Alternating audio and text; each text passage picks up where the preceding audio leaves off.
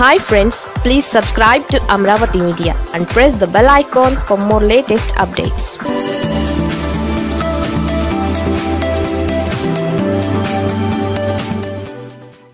ఇట్లాంటి ఈరోజు నేను అడుగుతున్నాను మళ్ళీ మరొక్కసారి నీ మీద నువ్వు చేసిన దుర్మార్గాలు అవినీతి ఎన్టీఆర్కి చేసిన ద్రోహం ఆ రోజు నుంచి ఈ రోజు వరకు నువ్వు చేసిన పాపాలు మొత్తం చిట్టాంతా కూడా నా దగ్గర ఉంది.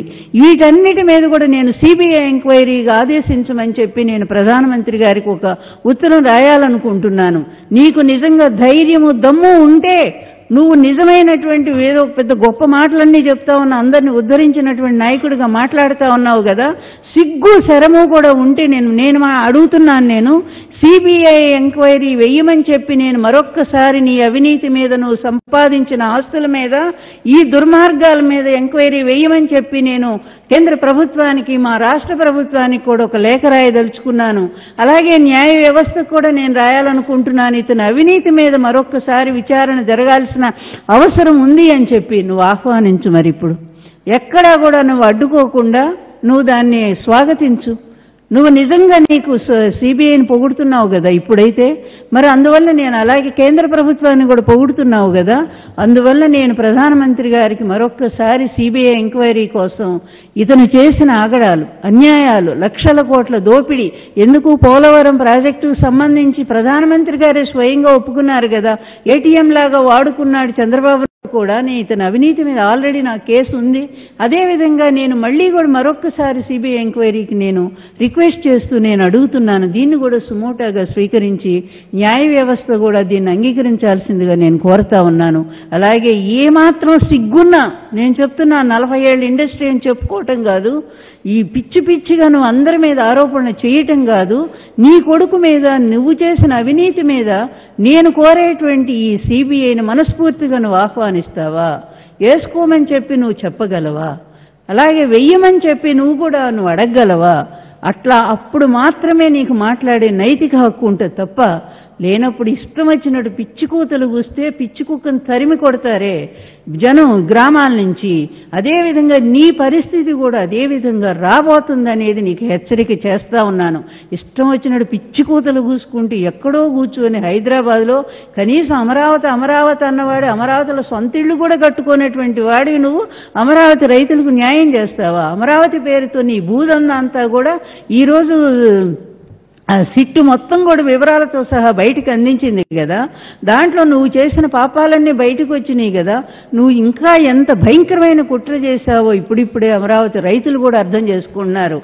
ఇంకా ఎవరో కొద్ది మంది నీ వెనకున్నటువంటి వాళ్ళు రియల్ ఎస్టేట్ చేసుకున్నటువంటి వాళ్ళు మాత్రమే నీకు సపోర్ట్ చేయొచ్చు కానీ నువ్వు చేసే మోసం ప్రతిదీ ఒక మోసంతో కూడిందే కదా. నాకంటే ఎవరు అథారిటీగా చెప్పగలరు? నా భర్త కంటే ఎవరు చెప్పగలరు? ఎన్టీఆర్ స్వయంగా ఆడియో వీడియోల ద్వారా ద్వారా నీ పాపాలు నువ్వు చేసిన ద్రోహం వెన్నుపోటు ఈ దుర్మార్గాలన్నీ కూడా ఆ రోజు ఆయన ప్రతిదీ కూడా చెప్పారు కదా. సాక్ష్యాలతో సహా అందించారు కదా టీవీల ద్వారా కూడా. అట్లాంటి నువ్వు ఏం చెప్తావు ఏం మాట్లాడతావు ఏం న్యాయం చేస్తావు? ప్రజలు నిజంగా దేవుళ్ళు గనకనే ఈరోజు నిజమైన ప్రజానాయకుడిని ఎన్నుకున్నారు. వాళ్ళని ఎవరు రక్షిస్తారో వాళ్ళకి తెలుసు. నీ మాయ మాటలు మోస మాటలు ప్రజలకు ఎప్పుడో తెలుసు. అందుకే ఎప్పుడూ నిన్ను గెలిపించలేదు. అందుకని వాళ్ళ కాళ్ళు పట్టుకొని వీళ్ళ కాళ్ళు పట్టు నువ్వు ఎట్లా నాయకుడివి? ఈరోజు కరోనా వస్తే కనీసం సొంత నియోజకవర్గానికి కూడా వెళ్ళకుండా నువ్వంటే డెబ్బై ఏళ్ళు అడివి కానీ నీ కొడుకు పంపించడానికి ఏమి రోగం? వాడికేం మాయ రోగం? నలభై ఏళ్ళ లోపే కదా.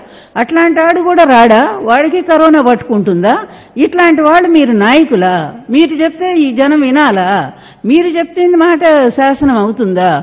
అందువల్లనే చెప్తున్నాను ఏ మాత్రం కూడా నాయకత్వ లక్షణాలు లేనటువంటి నువ్వు కేవలం కుట్రలు కుతంత్రాలు దీనికే మరి పూర్తిగా నివాసం చేసుకున్నటువంటి నువ్వు ఈరోజు ఏ విధంగా కూడా జగన్మోహన్ రెడ్డి గారి గురించి మాట్లాడే నైతిక హక్కు లేదు.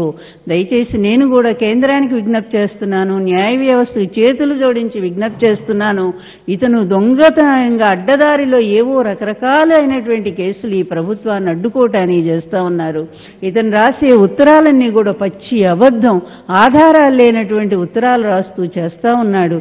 దయచేసి న్యాయాధి న్యాయమూర్తులకు కూడా నేను రిక్వెస్ట్ చేసేది ఏంటంటే ఇతని అన్యాయాలు అక్రమాల మీద మీరు కూడా నేను మాట్లాడిన మాటలు సుమోటోగా స్వీకరించండి. ఇతను చేసినటువంటి అవినీతి దోపిడీ విధానాల మీద ఒక కేసు మీరు కూడా స్వీకరించి న్యాయ విచారణ జరపాలని చెప్పి నేను కోరుకుంటా ఉన్నాను. అదేవిధంగా ఆధారాలు లేని లెక్కలు రాస్తూ ప్రజల్ని తప్పుదారి పట్టించడానికి అడ్డం పెట్టుకుని ఆడుతున్నటువంటి ఈనాడు ఆంధ్రజ్యోతి ఏదో మీకు ఎట్లా వచ్చినాయి మీ ఆస్తులు ఒక్కసారి నిలబడగలరా ఈ ప్రజల ముందుకొచ్చి? మీ మీ ఫస్ట్ జీవితం ఏంటో నాకు తెలుసు. ఈ రాధాకృష్ణ ఒక సైకిల్ మీద పోయేవాడు. ఈ రోజు ఒక పత్రిక ఎండి ఎట్లా అయిపోయాడో మరి సమాధానం చెప్పాల్సిన అవసరం ఉంది. ఇన్ని వేల కోట్లు ఎక్కడి నుంచి సంపాదించారు? ఈనాడు రామోజీ ఎక్కడి నుంచి సంపాది పత్రాలు అమ్ముకొని బతికిన రామోజీ ఎక్కడి నుంచి సంపాదించాడు? అందువల్ల మీరు ఎన్టీఆర్ గవర్నమెంట్ను కూల్చారు ఈ రోజు మా జగన్మోహన్ రెడ్డి గారు ప్రజాస్వామ్యబద్ధంగా ఎన్నికైనా మా ప్రభుత్వం మీద కుట్రలు కుయుక్తులు చేస్తూ ఉన్నారు. ఇంత నీచ స్థితికి ఇంకా కూడా ఎన్నాళ్ళు మీ ఆటలు? ఎన్నాళ్ళు జరుగుతాయి? చూస్తూ చూశారు ప్రజలు. అందుకే మిమ్మల్ని ఎక్కడ పెట్టాలో అక్కడ పెట్టారు. కానీ ఇంకా చాలదు. మీకు శిక్ష పడాలా? మీరు జైలుకి వెళ్ళాలి? ఆ రోజు మాత్రమే ప్రజాస్వామ్యం ఆనందంతో నిజంగానే పండగ చేసుకుంటుంది. ఆ రోజే నిజమైన దీపావళి వస్తుంది ప్రజాస్వామ్యానికి. వ్యవస్థలు నాలుగు ఏవైతే ఉన్నాయో నాలుగు స్తంభాలు ఈ ధర్మాన్ని ఈ ప్రజాస్వామ్య వ్యవస్థని రాజ్యాంగ వ్యవస్థను కాపాడేటువంటి ఈ నాలుగు కూడా సక్రమంగా నిలబెట్టగలిగినటువంటి నాయకుడు మా జగన్మోహన్ రెడ్డి గారు. ఆయన వచ్చారు వాటిని కాపాడడానికి ఆయన ఉన్నారు. అందువలన ఇలాంటి కుహనా రాజకీయ నాయకులు ఇటువంటి కుతంత్రాల పత్రికలు ఇటువంటి వ్యవస్థలు వద్దు. ఈ సమాజం నుంచి ఎంత దూరంగా పోతే అంత ప్రజా వ్యవస్థ బాగుంటుందని చెప్పి నేను భావిస్తా ఉన్నాను నేను.